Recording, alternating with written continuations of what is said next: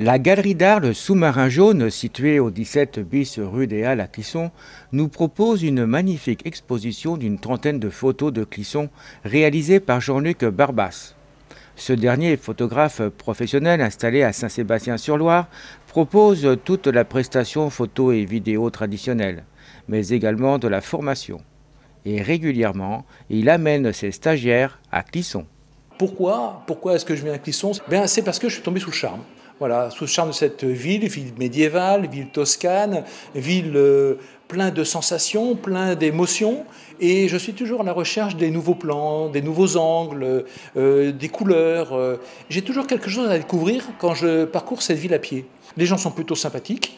Bon, quand on vient en début de semaine, c'est un peu calme, mais euh, la ville s'anime progressivement en arrivant sur la fin de la semaine.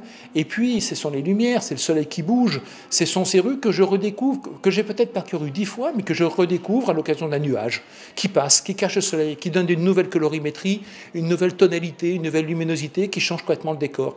Qui sont ces points de n'importe quoi C'est une ville qui a une histoire. Et cette histoire, on la suit tout au long comme, le long d'une ligne verte, comme ils ont à Nantes. C'est pareil.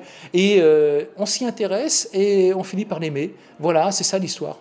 Aujourd'hui, Jean-Luc Barbas nous présente une exposition de photos qu'il a réalisée au cours de ces deux, trois dernières années, prises lors de ses déambulations dans les rues de Clisson. Ensuite triées, sélectionnées et exposées, espérant que le spectateur tombe sous le charme. Une particularité technique toutefois de ces photos attire l'attention. Ce qui est intéressant, c'est la qualité du support. Par exemple, euh, principalement des dibons.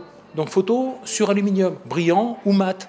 Euh, c'est un nouveau support qui est inaltérable, imputrescible, qui résiste au temps, à l'humidité. Vous pouvez le garder 150 euh, ans chez vous, il ne bougera pas. Des photos qui sortent de l'ordinaire, avec des traitements qui sortent de l'ordinaire aussi. Hein. Donc aujourd'hui, la photo naturelle euh, elle existe certainement, mais vous savez, elle est tributaire aussi du matériel que vous utilisez.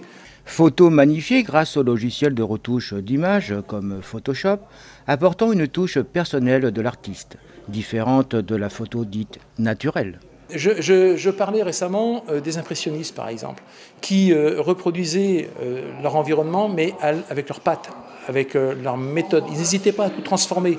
Et aujourd'hui, on reconnaît leur art. C'est pas d'aujourd'hui d'ailleurs. Et euh, pourquoi ne pas faire pareil avec les photos? Pourquoi ne, pas proposer des photos euh, naturelles, mais reprises, magnifiées, arrangées, de façon à ce qu'elles soient encore plus belles? Moi, à partir du moment où c'est plus beau, il n'y a pas d'obstacle. Je ne vois pas pourquoi je ne le ferais pas. Donc euh, j'essaie de faire ça, avec plus ou moins de succès. Ne croyez pas qu'on réussit du premier coup. C'est pas vrai. Mais la photo naturelle, c'est quoi? Ça dépend du temps et de l'appareil photo. Et ça permet également d'apporter une opinion, un sentiment de votre part. Oui, voilà, je traduis aussi la façon dont j'ai envie de travailler.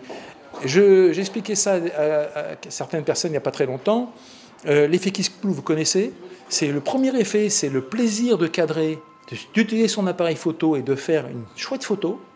Et l'effet qui se coule, c'est celui qui vient après, c'est de la reprendre et de la retravailler sur son ordinateur pour la faire encore mieux, encore mieux comme on a envie de la faire, comme on, la voit en fait. Hein. Donc une, vision parfois futuriste ou plutôt antique, un peu comme celles qui sont derrière moi. On balaye toutes les époques, c'est assez formidable et on prend un plaisir immense. Voilà, mais c'est vrai, c'est mon exposition aujourd'hui, c'est cette chance. Et à travers cette exposition, je retraduis mes sentiments et mes émotions.